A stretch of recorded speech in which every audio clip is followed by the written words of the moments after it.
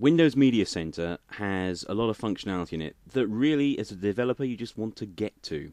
Here I have a simple Windows form. It's got a text box, a couple of buttons, and a data grid view in it. And what I'm going to do is wire these pieces up to the Media Center's electronic program guide so that we can program how to use the guide. So first of all I need to add some references.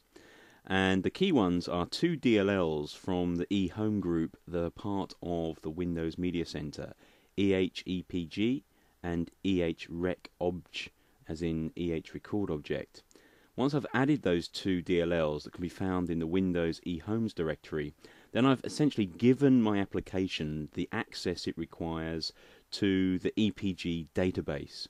Now, the database isn't a normal database, it's a particular um, SQLite implementation.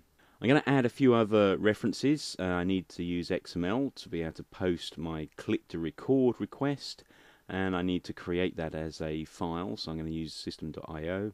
But then I can add in my references to those DLL's functionality. First of all, the EPG database, and secondly, the scheduling system of the media center environment. Okay, cool. Now to save on all the typing, I've um, created myself some snippets. Now there is a great example called Simple Guide um, that's up on Casey Chesnut's site, and I've taken from that a nice little routine that uh, shows you how to get hold of the current EPG file. A new file is downloaded every so often. It's an SDF type of file, and it can be found in the Microsoft eHome EPG directory.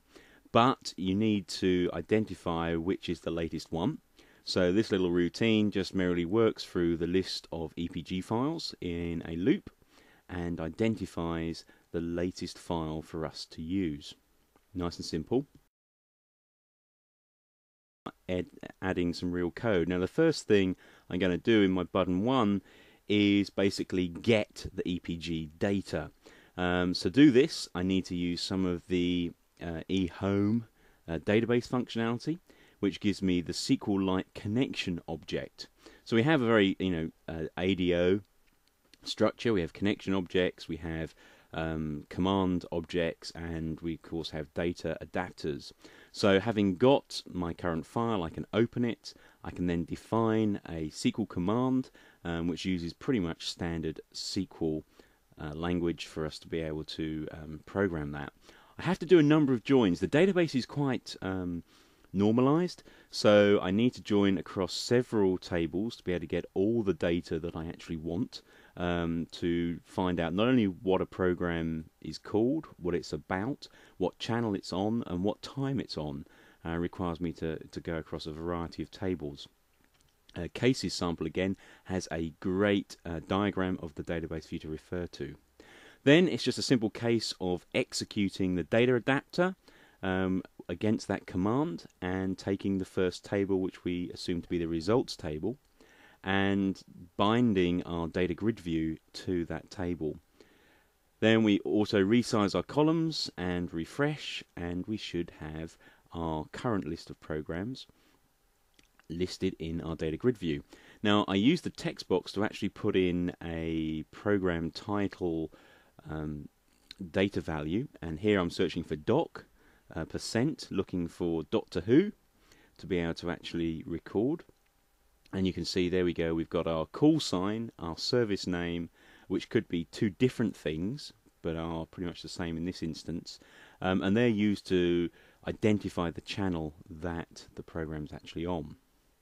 So now we can actually look into the EPG guide. That's pretty useful.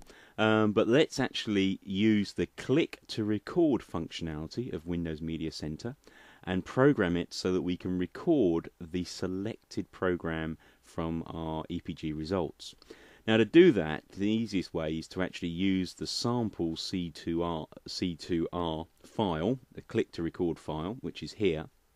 And using that as a template, I simply replace uh, three key values for program, service, and airing. So that I have the program title, the station, the channel that it's actually on, and the program time specifically to record an instance.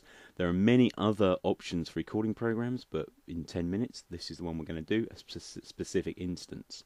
So you can see we do an inner XML replace um, with the values from our current data row in the grid and we convert our date time to a very specific string format um, that we need to use um, to actually get the click to record functionality to work.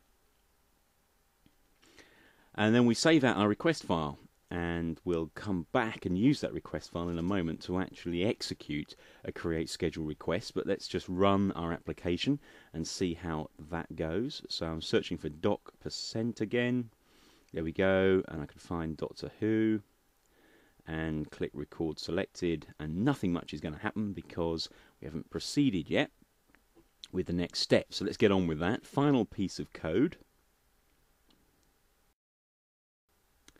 Let's actually have a look at the created file and that's down in our debug directory and if I open up my request XML you can basically see that I've now got Doctor Who, BBC Three and at 7 o'clock on the 2nd of the 3rd um, 2nd of March, that is 2009.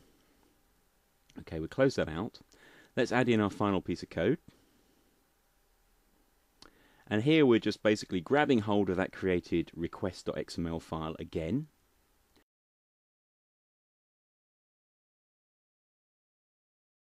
And then we're creating our event schedule our schedule request and our create schedule request result objects that we use in the next phase of creating our request to schedule the recording of a certain program. That's all done off the scheduler with the create schedule request. We put in our restrictions in the XML file. We define the policy for how the recording um, conflicts should be set up, and uh, we capture a result object. And then we go down and um, basically we're going to print a, uh, a message box and capture some additional stats to see how it all um, how fast it all occurs. So again, search for doc percent. Here we go. Got Doctor Who. Record selected. Uh, program, and it, and it takes a while because we've created that file, saved the disk, loaded it up again, but then we're passing it off to the Windows Media Center system, and that's searching the EPG and there you have it. It found it. It scheduled no conflict. There was no conflict associated with it. So this application really is the beginning for all sorts of other connectivity into your Windows Media Center. Have fun!